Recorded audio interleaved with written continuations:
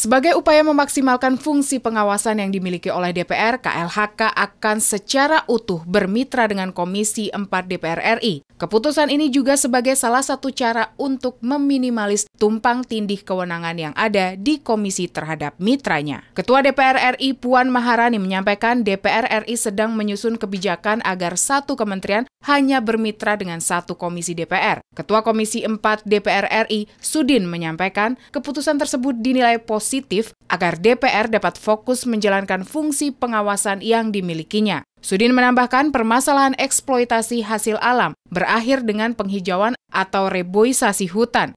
Ya kan kita semua tahu yang merusak lingkungan hidup adalah pertambangan.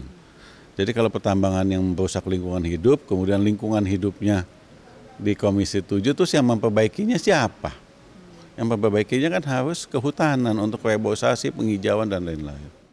Anggota Komisi 4 Muslim menyampaikan jika kepentingan di sini bukan masalah KLHK berada di Komisi 4 atau 7, tetapi lebih kepada siapa yang lebih berkorelasi sejauh ini. Muslim menambahkan untuk menyamakan paham demi menghasilkan output yang baik dari keputusan yang sudah dibuat karena hal tersebut demi kebaikan masyarakat.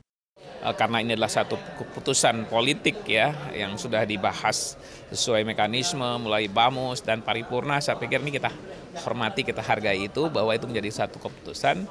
Outputnya kita harapkan. Harapan kita kan tentu semua buat kepentingan masyarakat kepentingan rakyat. Nadia dan Gunarso TVR Parlemen melaporkan